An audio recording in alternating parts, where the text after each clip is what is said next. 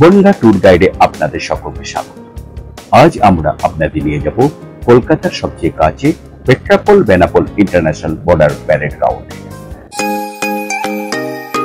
আমরা জানি সুদূর পাঞ্জাবের অমৃতসরে ইন্দোপাক ওয়াগা আটাই সীমান্তে বর্ণাঢ্য রিডিং রিট্রিট সেরেমনি হয়। আর আপনার মন চাইছে কলকাতার কাছে রিডিং রিট্রিট সেরেমনি দেখতে, সাথে তার কাটার এপার থেকে খুব কাছে বিদেশ দেখতে আবার প্রতি বছর শীতের সময় অভয়ারণ্যে পারিযায়ী পাখি দেখতে আর দেখতে ইচ্ছে করছে ইচ্ছামতি নদী সহ বিভূতিভূষণ বন্দ্যোপাধ্যায়ের বসত বাড়ি। কিন্তু সবসময় মন চাইলেও সুদূর পাঞ্জাবের অমৃতসরে যাওয়া সম্ভব হয় না। তাই আজ আমরা নিয়ে যাব কলকাতার খুবই কাছে উত্তর চব্বিশ পরগনা জেলার বনগাই ইন্দো বাংলাদেশ ট্রাপল বেনাপোল আন্তর্জাতিক বর্ডার প্যারেড গ্রাউন্ডে। এখানে নোম্যান্স ল্যান্ড দুই দেশের গ্যালারি ফ্ল্যাগ হোস্টিং কুচকাওয়াজ, জাগ্রত মনাসা মন্দির আর দ্বারকাটার কিপার থেকে বাংলাদেশ সবই দেখতে পাবে। তবে মনে রাখবেন ফিটিং রিলেটেড সেরেমনি শুরু হয় বিকেল পাঁচটার সময়, সপ্তাহে দুদিন, মঙ্গলবার আর শনিবার। দেখলে অবাক হবেন, এই প্যারেড ইন্দোপাক ওয়াগা আটারি সীমান্তের আদলেই হয়। এমনকি এখানকার সমস্ত নিয়ম, বর্ণাঢ্য শোভাযাত্রা, অবিকল ইন্দোপাক ওয়াগা আটারির মতো। আমরা আজ এমন জায়গায় দাঁড়িয়ে আছি, ঠিক আমার সামনেই পেট্রোপোল, বেনাপোল আন্তর্জাতিক বর্ডার। কীভাবে আসবেন এই আন্তর্জাতিক বর্ডারে? কোথায় এই ফ্ল্যাগ হোস্টিং হয়? কখন এই কুচকাওয়াজ শুরু হয় ও শেষ হয়? কীভাবে নো ম্যান্স ল্যান্ড এ পা দেবেন? সমস্ত কিছু নিয়ে আজকের এই ভিডিও চলুন আপনাদের ভিতরে নিয়ে যাওয়া যাক। আর আপনাদের সামনে তুলে ধরবো এই বর্ণাঢ্য রিডিং ডিক্টেড সেরেমনি গ্যালারিতে ঢোকবার আগেই আপনাদেরকে অরিজিনাল আইডি কার্ড শো করে নিজের নাম নথিভুক্ত করে প্রবেশ করার অনুমতি পাবেন। তারপর ভারতের গ্যালারির চেয়ারে গিয়ে বসতে হবে। ঠিক বিকাল পাঁচটার সময় শুরু হয় এই সেরেমনি যা দ্য ওয়াগা অফ পিস নামে পরিচিত। তাই বিকাল চারটের মধ্যে পৌঁছে গিয়ে সাড়ে চারটের সময় লাইন দিতে হবে। পেট্রাপল, বেনাপোল বর্ডারে ওয়াগা বর্ডারের মতো ফ্ল্যাগ তোলা হয় আর নামানোর সময় দুই দেশের যৌথ প্যারেড হয়। ইন্দো বাংলাদেশ নো ব্যান্ডস ল্যান্ডের বাম দিকে বাংলাদেশ অসম্ভব সুন্দর গ্যালারি বানিয়েছে, যা সকলের কাছে আকর্ষণীয়।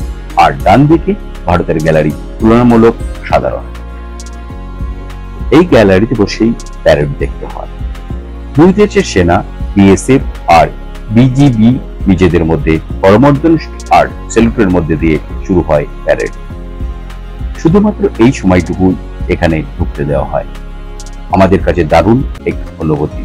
সত্যি এই দিনটা মনে রাখার মতো।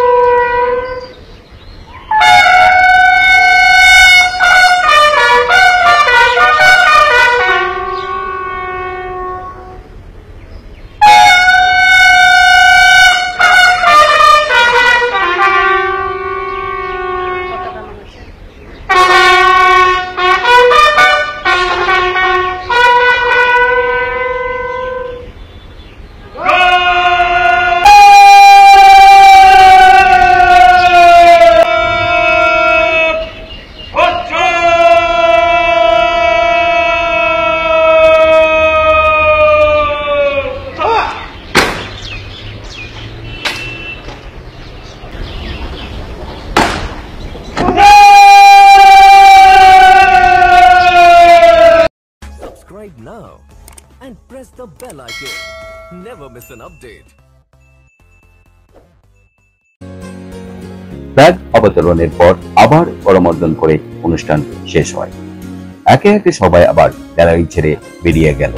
বিএসএফ জওয়ানরা সবার সাথে হাসি মুখে ফটো তোলার জন্য আর প্যারেড ইউনিটের সদস্যরা তো লাইন দিয়ে দাঁড়িয়ে পড়ল আগত সকল দর্শনার্থীদের সাথে ফটো তোলার জন্য। ঠিক এই প্যারেড গ্রাউন্ডের পাশেই বাম দিকে বিএসএফ ক্যাম্পের ভিতর দিয়ে যেতে হবে জাগ্রত মনসা মন্দির দর্শন করতে তাই নিজের নিজের অরিজিনাল আইডি কার্ড জমা দিয়ে ভিতরে যাওয়ার অনুমতি পাওয়া যায়। অনুমতি নিয়ে ভিতরে প্রবেশ করে দেখতে পাবেন একটি ছোট মনসা মন্দির। মন্দিরটি ছোট হলেও এখানে প্রতি বছর মনসা পুজোর সময় মহা ধুমধামে পূজা অনুষ্ঠিত হয়। তখন মেলা উপলক্ষে অনেক লোকজনের সমাগম হয়। আর বাংলাদেশের মানুষেরা একদম কাটাতারের বেড়ার পাশে আসার অনুমতি পায়। এই মন্দিরের পিছনে আছে ইন্দো বাংলাদেশ সীমানা। তার কাটার এ পাশে ভারত আর তার পাশে কচুরিপানায় ঢাকা ইচ্ছামতি নদী। এই ছোট ইচ্ছামতি নদীর ওপারে বাংলাদেশ। ভাবা যায় এত কাছে বিদেশ, তবে বাংলাদেশকে বিদেশ বলতে কেমন যেন লাগে। একই ভাষা একই সংস্কৃতি আবার বিশ্বকবি রবীন্দ্রনাথ ঠাকুর আর বিদ্রোহ কবি কাজী নজরুল ইসলাম উভয় দেশের মহান কবি কাটা বেড়ার ভাগ দিয়ে ওপারের বিজিবি আর বাংলাদেশিদের খুব ভালোভাবে দেখতে পাওয়া যায় এখান থেকে.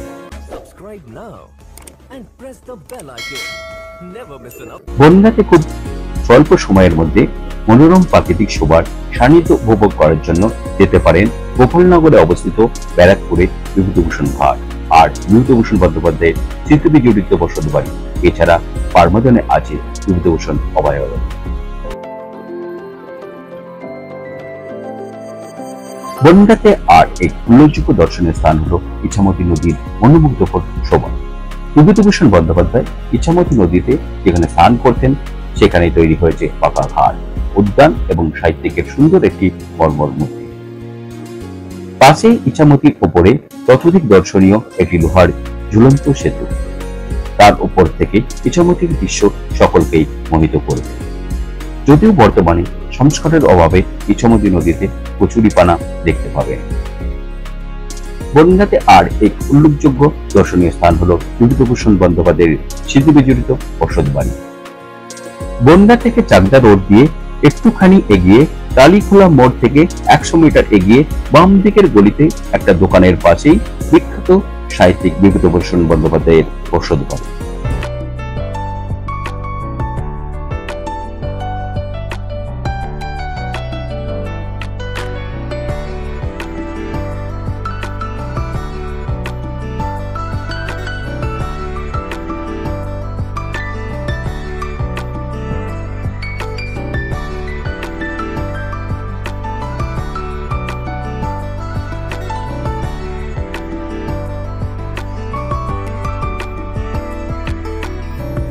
আর আছে পারমদন ফরেস্ট বা বিভূতিভূষণ অভয়ারণ্য। গোপালনগর থেকে চলে যান পারমদন আর দেখে নিন বিভূতিভূষণ জাতীয় অভয়ারণ্য। যেখানে বিশুদ্ধ বাতাসে কিছুক্ষণ সময় কাটাতে বেশ ভালো লাগবে। ইচামতির ওপারে বিভূতিভূষণ অভয়ারণ্য।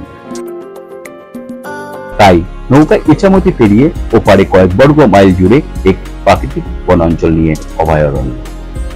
নানান প্রাচীন জানা অজানা গাছে ঘেরা সবুজের সমারোহে গড়ে উঠেছে এই অভয়ারণ্য। একশো কুড়ি টাকা প্রবেশ মূল্য দিয়ে ভিতরে প্রবেশ করতে হয়। প্রবেশ পথের পাশেই দেখতে পাবেন খাঁচাবন্দি বেশ কিছু দেশি বিদেশি পাখি। যারা অরণ্য ভালোবাসেন, প্রকৃতি ভালোবাসেন, আর যদি অরণ্যের শোভা উপভোগ করতে চান, তাদের জন্য স্বর্গরাজ্য।